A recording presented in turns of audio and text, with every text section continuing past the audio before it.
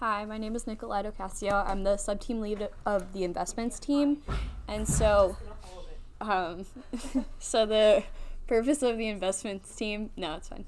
The purpose of the investments team is to um, establish connections with people in the industry and find a way to structure loans so that we can get potential um, loans and grants for Agua Clara to build more plants around the world. So going through our table of contents, we've structured this presentation how we did our um, pitch book, which is the main project we worked on in this second half of the semester. So we'll run through a little bit of introduction and background, then move on to the problem and how the Agua Clara plants work, then competitive advantages, um, the market, some financials, our feasibility studies, and our risk risks and mitigates, followed by our next steps as a team. So we'll start off with the introduction. So we like to start off with this slide um, when we present during the symposiums. So we're talking um, here about taking patient capital combined with Agua Clara technology and community support to deliver clean water access. So um, the patient capital in this case would be the investors that we're looking to partner with. So um, impact investors that are willing to accept a lower interest rate and a longer return period because they care about the social benefits that um, a project like Agua Clara um, supports. And then Agua Clara Technology, which is the research that we do here in combination with the community support, so the people in Honduras, APP, and all the people on the ground. So, a little overview of impact investing. We're talking about taking um, organizations or partnering with organizations that want to provide this social benefit, um, linking them with private investors that want to generate returns that um, create positive social impact, and then increase the scale. So, as Agua Clara does, we would like to continue building more plants. And so, right now, we're at the stage where we're trying to con- to connect the um, communities in Honduras with investors who want to support um, the mission to bring clean water to these areas of the world. So now I'm going to pass it on to Cindy to talk about a little bit of the background and the problem and how the um, Agua Clara plants work.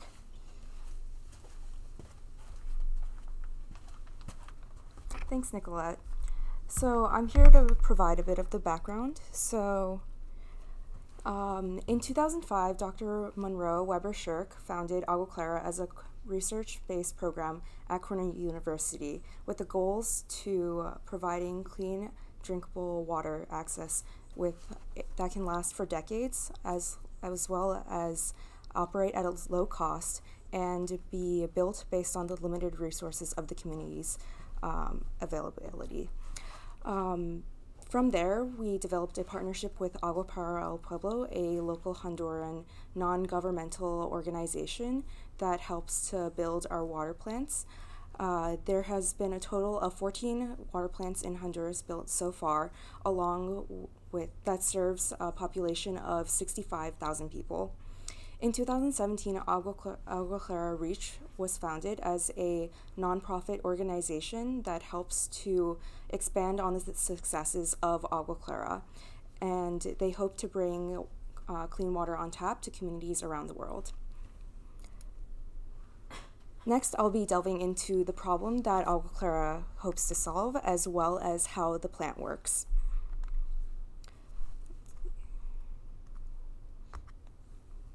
So, water is a basic necessity and is an important resource for sustaining life.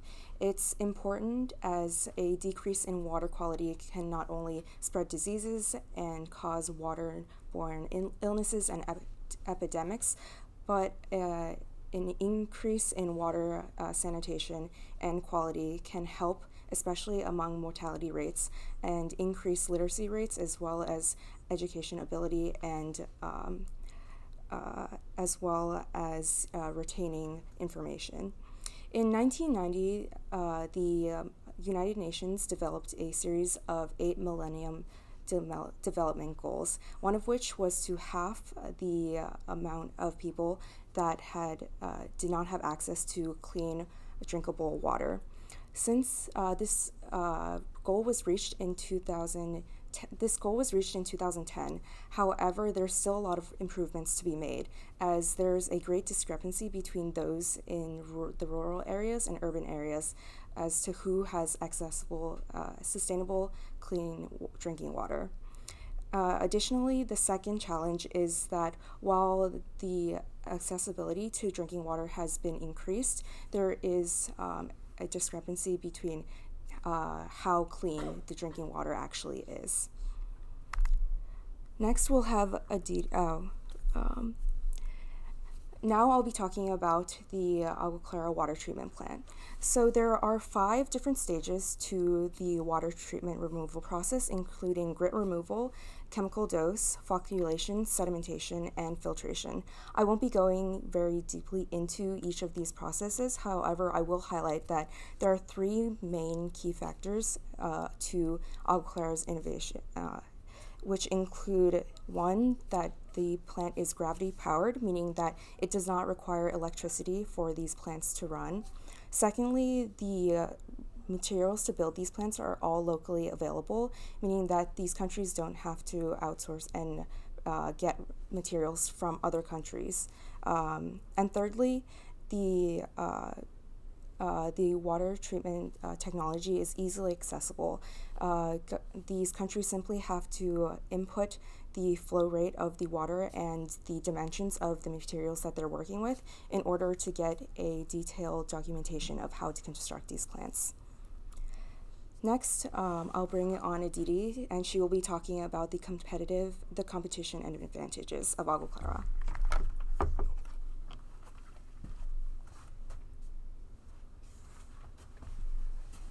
Thank you, Cindy. So we'd like to talk about next three main sources of, of competition that the investments team has identified. Um, the first is Water Missions International. Um, so this is a company that is a global-based organization and provides a lot of the same technologies that Agua Clara does in terms of its plants. Um, so, for example, it offers backwash filters and has a complete filtration and chemical disinfection package um, that goes into their technologies. In addition, it's a very cost effective solution, so it does compete in the similar cost structure that Agua Clara plans to do as well. The second competitor that we've identified is Charity Water. So, once again, this is a global organization that currently serves 9 million people worldwide. Um, and they operate with a local partnership model similar to how Agua Clara serves its communities in Honduras. Um, and they also have gravity powered solutions similar again to Agua Clara technologies.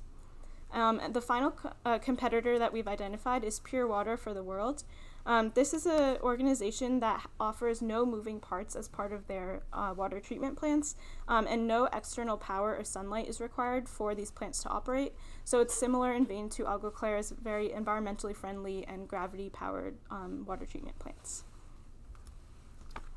Um, though Agua Clara has some competitors in this space, none of these competitors offers every single um, advantage that our technologies do. Um, so Cindy highlighted a couple of these previously, but I'd like to talk about a few more. Um, so all of Agua Clara's plants are able to be managed by a single operator, especially in Honduras. Um, and this is critical because these operators don't necessarily need to have um, a formal education in water treatment or engineering, um, but the technology is simple and transparent enough for them to upkeep all of the plants. Um, secondly, the Agua Clara technology and the water that results um, meets um, the World Health Organization and Honduran standards for clean drinking water. Um, and in addition, it exceeds the UN's definition of an improved source of water. So Agua Clara is definitely making headway there. And finally, we have a low cost um, solution to offer these communities that we work with. Um, and this is all of our plants are cheaper than traditional mechani- mechanized um, water treatment solutions. Um, and our technologies come in at about two to four US dollars per household per day. So this is definitely a, another space that Agua Clara competes in. Um, next, I'd like to pass it on to Jenny, who will talk more about the market for Agua Clara technologies in Honduras and other parts of the world. Thank you, Aditi. So I'm going to be talking a little bit about Agua Clara's current market, which is Honduras. So Honduras is the second poorest country in Central America, with nearly 65% of its population living below the poverty line.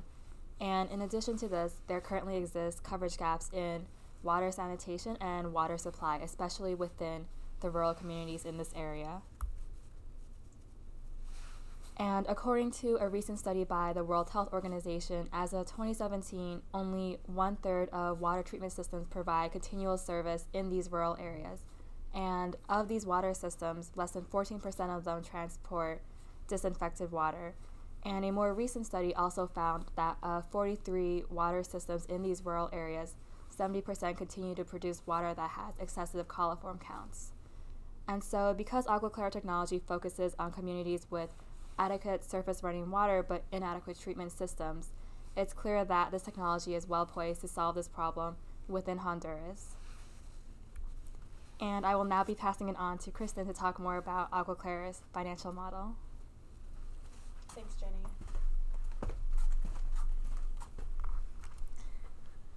Um, so basically, our financial model serves as kind of like a framework to determine our actual loan terms when we approach investors. So when we do this, we look at different factors. So first, we look at the actual um, construction costs of the plant as well as the interest rates that um, investors require or want. And then we pair that with other factors such as leverage rates, which is the percentage of the construction costs that will be paid for by a grant versus a loan, because a loan, the community would have to um, pay for that. And then we'd also look at delinquency rates, which is the percentage of delinquent payments or community members that do not pay their tariff. Um, and thus, we would look at these factors, and the financial model would create a tariff um, that community members would have to pay in order to fulfill this loan. Um, we would not just look at the tariff, but also look at the community's ability to pay and kind of negotiate with investors to see if there is um, a possible loan structure that would give investors the, their desired rate of return while also being at a point where community members are actually able to pay for it. Another thing that the financial model does is that it visualizes payment schedules. So if we look at the debt service schedule, um, basically, this shows how much money is actually being paid to investors. If you look at the total semi annual column, that is the semi annual payment given to investors, and this money would be funneled towards paying back interest payments, but also paying back the principal or basically the money that we were loaned. Lastly, the financial model also details the cash flows and the accounts that it goes through. So basically, if we look at construction payments, uh, money is being funneled into there to pay for the actual construction costs around month seven um, because the plant is actually operating there are now revenues from water tariffs and that revenue would then transfer into the debt service account which is basically to pay back the debt and also transfer into the operating expenses account paying for different operating expenses of the plant and every year there will also be payments and cash flowing towards the maintenance reserves count, account um, in case there are other maintenance costs that will be incurred. Um, now I'll pass it back to Cindy for the feasibility study. Thanks, Kristen. So, as Agua hopes to expand its technology and bring these treatment plants to new areas and regions, the team has decided to conduct a geographical feasibility study to discuss and determine the viability of bringing these to these plants to countries including uh, Colombia and Ecuador. In this study, we've provided information about the profile of each country, including the population and the geographical location, as well as the climate, uh, as and then secondly the water treatment need of each country as well as the problems that each country faces in terms of clean water access um, the first country that I'll be discussing is Ecuador. So Ecuador is uh, uh, occupies half of the Andes Mountains as well as the Amazon basin. Uh, the economy is mainly agricultural based. In terms of its water treatment need, uh, Ecuador is one of the uh, most rich uh, country that uh, freshwater rich countries in the world with uh, around 2,000 rivers and streams. However, uh, only the people that have money are able to access clean water in this area. Finally, in terms of problems that Ecuador is facing, um, a lot there's a lot of loss uh, through the irrigation systems in terms of clean water access however there are also problems within the government in terms of opacity of uh, information that is being transferred between um, the uh, the uh, uh, municipality as well uh, in um, yeah um, and then uh, now I'll be bringing on Nicolette to discuss the Colombia and what we found about that country. Thank you, Cindy. So in Colombia, we found that there's actually a wide variety of different climates. Um, so that makes bringing Agua Clara technology um, into the region a little bit more difficult. And there's also a stark difference between the amount of urban and rural population that have access to clean water. So their economy is based on the extraction of a lot of non renewable um, resources. So that will create some issues for the country. Um, and in terms of resource need, they've built recently built a wa- wastewater plant with the purpose of serving over 3 million people but the government has focused a lot of their attention on keeping oil prices low um, like I said before, their economy was based on the extraction of non renewable resources, and that has created a barrier to creating um, systems for water, clean water distribution. And again, different water boards have um, different responsibilities and interests, and a lot of times these can com- conflict, especially with the need to keep oil prices down. Um, and many of the river basins support the majority of these uh, water systems, but that is only contained to 13% of the country's actually available water supply that can be distributed, cleaned, and then distributed to the Colombian population. Now I'm going to pass it on to Maria Cristina for the risks and mitigants. Thank you very much, Nicolette. So, in the process of assessing Agua Clara's long-run viability as an investment, we also decided to look at some risks and potential solutions that can mitigate the effects of those risks. Um, and one of the risks arise from assumptions that we have made in, within our financial model. Particularly, um, the first one has to do with uh, uh, the assumption that the average Honduran household income per month is uh, $250, uh, given that they work 20 days uh, per month. So, um, but we are questioning this assumption in terms of uh, whether income shocks that happen due to droughts or other extreme weather phenomena. And the way that we decided to mitigate this is by looking at how we can create an error margin, a, a range um, of uh, how the monthly income can fluctuate. And uh, this it has to do with uh, 1% or 3% change in income um, in case of um, uh, this income shock. Also, on the other hand, Honduras have an excellent record of uh, paying back the tariff, which is uh, $2.90. Um, and uh, because it, uh, they have the willingness and ability to understand how important uh, clean drinking water is for them.